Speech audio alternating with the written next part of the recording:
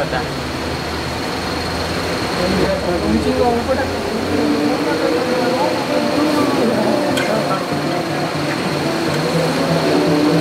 ये बहुत सारे चीज़ें आपके पास रखा खुले गेम वगैरह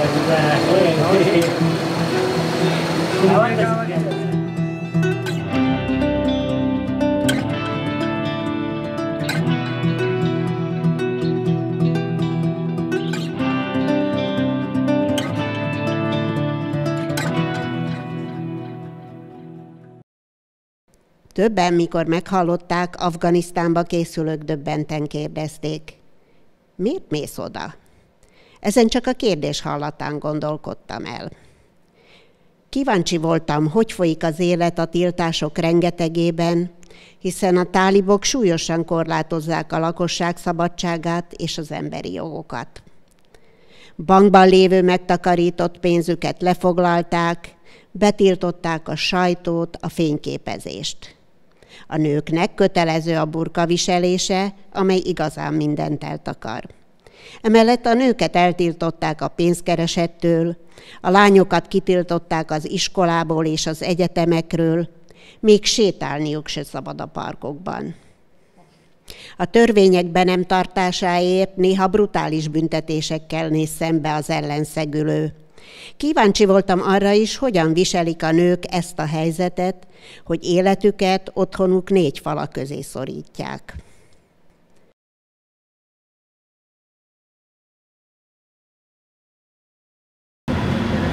az, hogy Pakisztán miért sokkal kevésbé hatékony, meg miért sokkal kevésbé tehát a gazdaság meg miért van nagyon jelentősen lemaradva az elmúlt évtizedekben India mögött, az, az is okozza egyrészt, hogy a, hogy a hadsereget túlzottan beengedik a gazdaság működésébe is.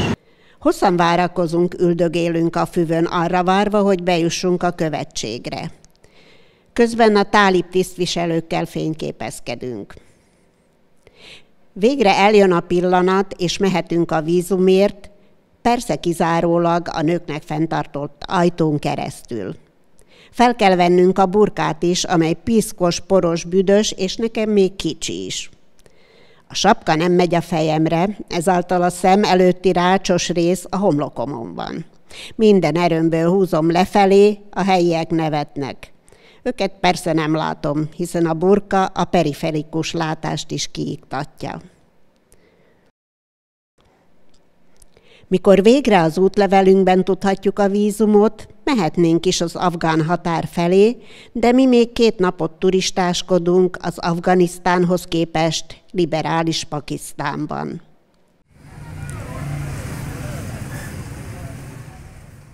Egyébként Peshawar afgánabb Afganisztánnál, hiszen rengeteg itt az afgán menekült, és a területet pastu nemzetiségűek lakják, és a tálibok zöme is pastú. Elképedve látom, mennyien járnak burkában, itt, ahol nem is kötelező.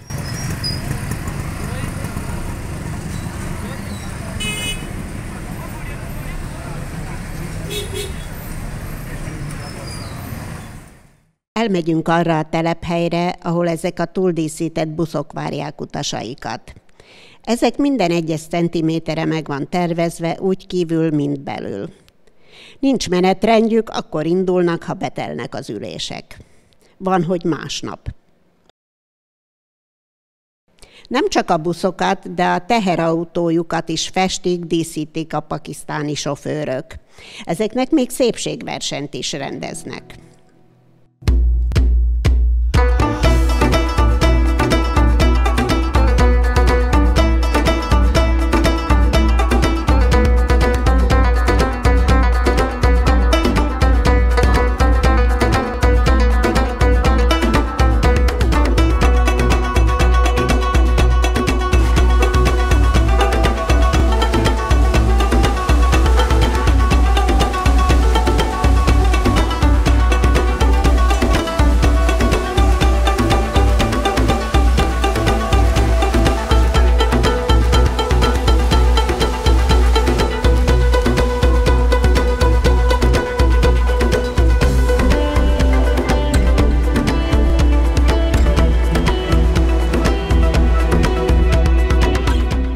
Pesavar maga az őskáosz.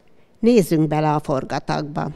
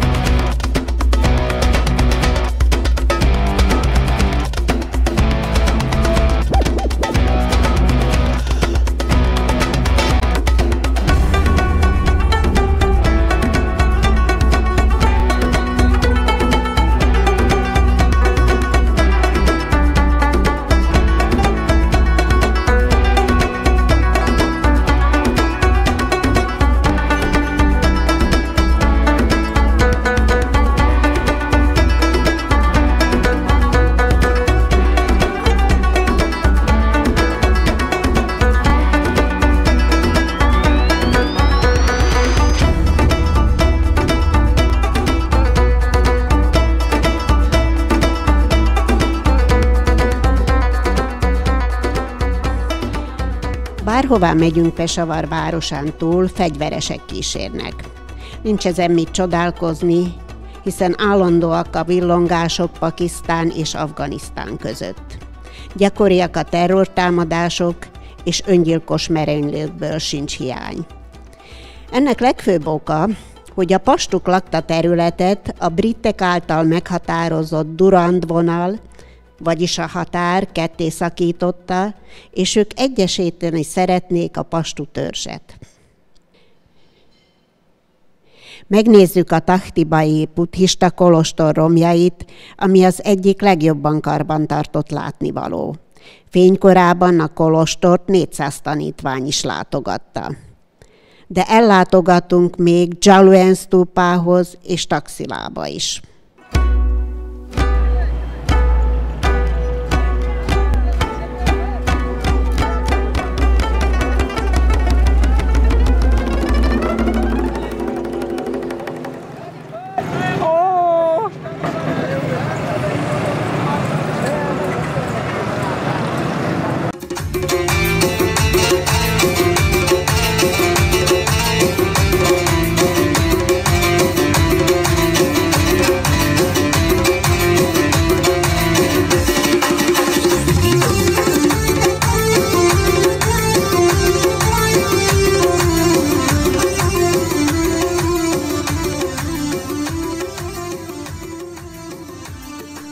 Harmadik napon indulunk az afgán határ felé, és már a nap elején összeszorul a gyomrunk, mi vár ránk a határon. Természetesen oda is fegyveres kísérettel megyünk.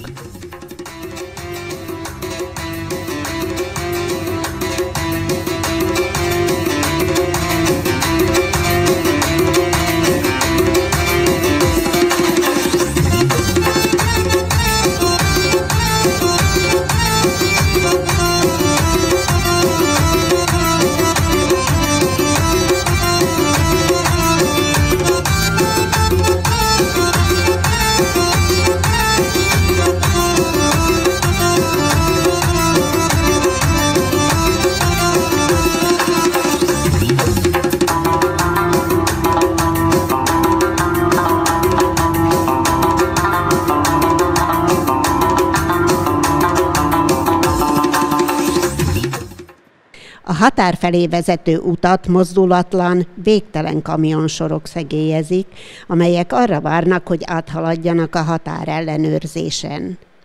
Állítólag három nap a várakozási idő annak ellenére, hogy ez a régió legfontosabb kereskedelmi ütőere.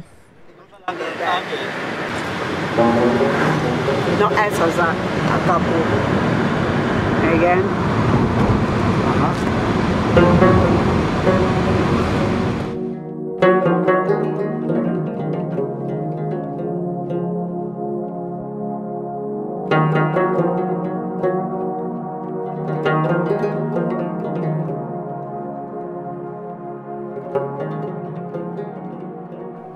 Kocsi egy lepusztult bazár közepén tesz ki. Olyan feltűnést keltünk, hogy percekre megáll az élet. Megrohannak a házilag összetákolt tolókocsikkal felszerelkezett hordárok, valósággal kikapják a kezünkből a gurulós bőröndöket. Jól teszik, mert ezekkel valóságos kinkeserv lenne végig menni a tekervényes, mindkét oldalról szöges dróttal szegélyezett két kilométer hosszú folyosón.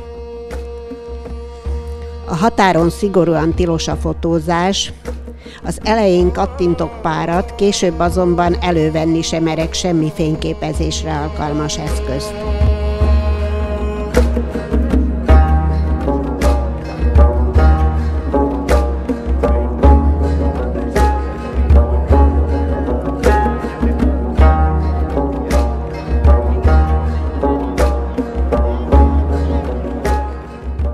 Van, aki 5-6 hatalmas csomagot cipel egy maga, más ágykeretet visz a fején, ami hol az előtte, hol a mögötte haladókat üti fejbe.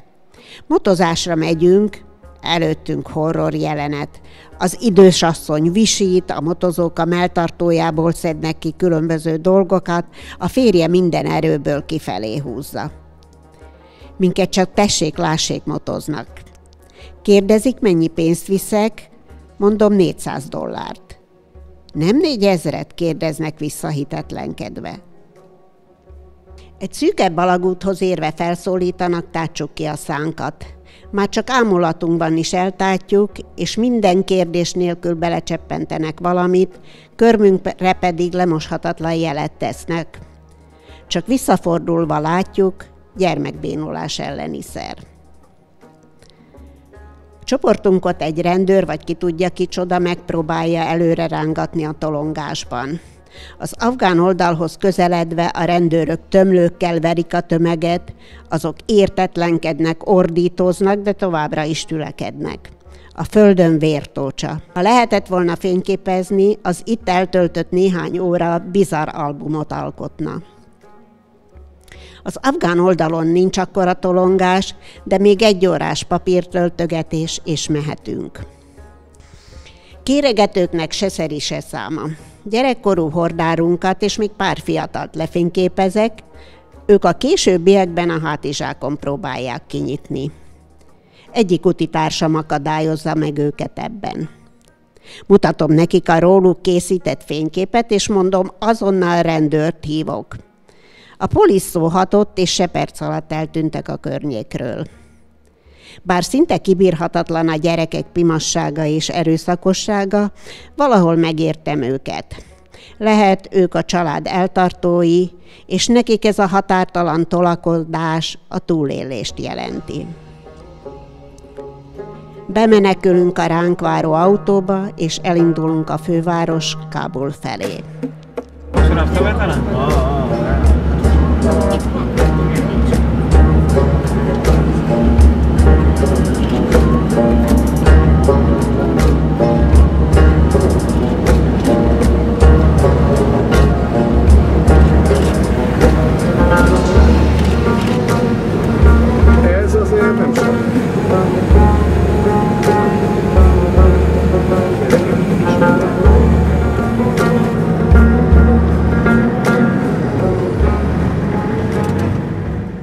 Hegyes vidéken autózunk, csak a folyó kárterében terem meg valami.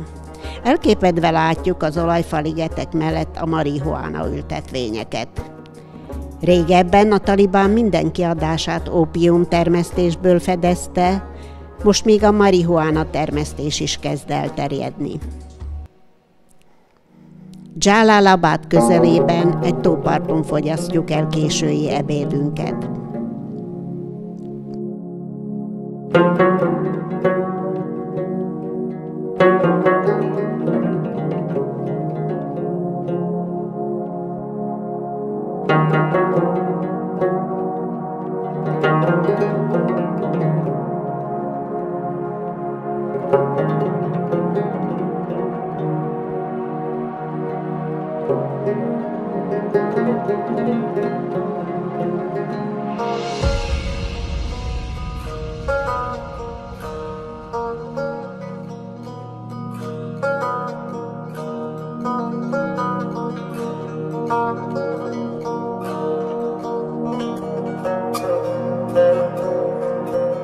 Már evés közben gyülekeznek a maradékra váró gyerekek. Jól is laknak a meghagyott ételből. Közben azonban újak érkeznek, nekik persze már nem tudunk adni. Az összeszedett tányérok egyikén van egy darab hús, amit nem bírtam elrágni, azt az egyik kislány egy óvatlan pillanatban bekapja. Elszörnyülködök, milyen éhesek lehetnek ezek a gyerekek. Vafa, az afgán vezető elmondja, a lakosság 70%-a él nyomorban és éhezik. Nincs ezen mit csodálkozni, hiszen Afganisztán területének nagy része hegyvidéki pusztaság, az élelmiszerek terén nem tudnak önellátóak lenni. A nők lényegében a lakosság fele el van tiltva a munkától, emellett rengeteg a rendőr, a katona, akiket szintén el kell tartani. S mindezek betetőzése, hogy a világ a humanitárius segélyeket is leállította a talibán kormány alatt.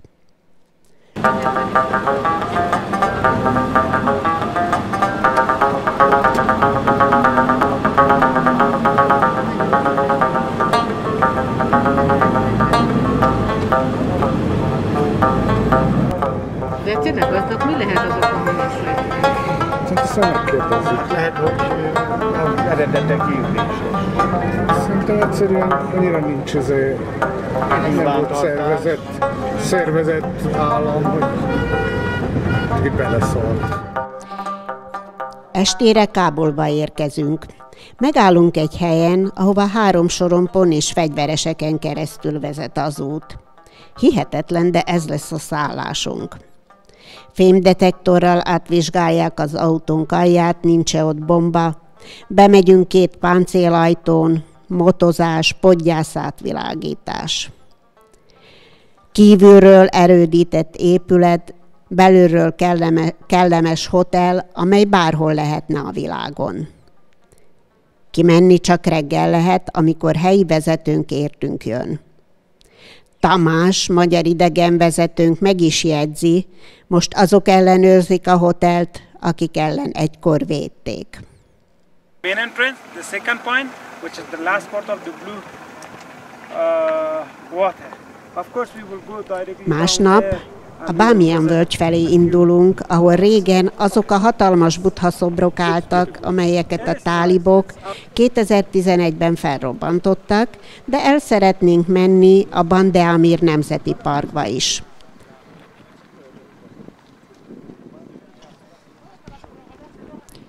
Számítok a figyelmetekre a következő részekben is.